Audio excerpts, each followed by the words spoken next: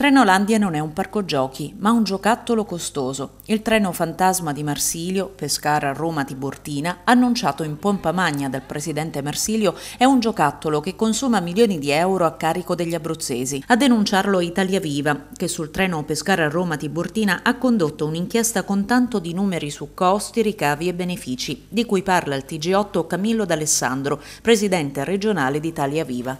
Non è un parco giochi, ma è un giocattolo in mano a Marsilio consiglio che costa agli abruzzesi 2 milioni 284 mila euro. Stiamo parlando del treno che hanno inaugurato da Istituto Luce, tutto lo ricordano, l'attuale treno che da Pescara parte e va a Roma. Un treno che impiega oltre tre ore rispetto agli autobus che impiegano molto meno. Bene, questo treno costa 2 milioni 284 mila euro, 480 euro a chilometro.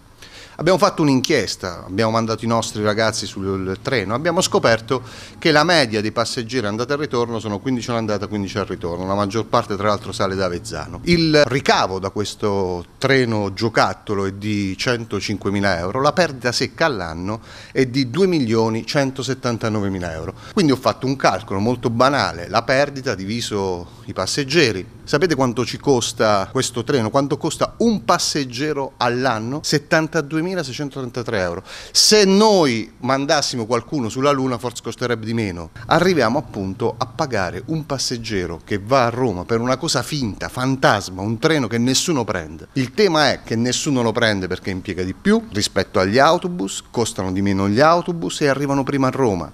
E perché nel momento in cui ci sono i tagli ovunque alla sanità hanno aumentato il costo dei trasporti, hanno tagliato le rotte dall'aeroporto di Pescara ovunque, tutto quello che sta accadendo, questi si permettono il lusso di perdere ogni anno oltre 2 milioni di euro e fare viaggiare gli abruzzesi a 76.000 euro l'uno. Questo treno va soppresso, non ha senso, cioè per 30 persone di cui la maggior parte eh, parte da Avezzano, li andiamo a prendere col taxi e li portiamo a, a Roma, sono più contenti e facciamo prima e risparmiamo molto molto molto di più. Non c'è utenza ma ci sono i soldi pubblici e questi soldi pubblici vengono sottratti al costo dei biglietti che sono aumentati a Sangritana che è una società pubblica di tua, che vogliono svendere al privato perché non hanno i soldi.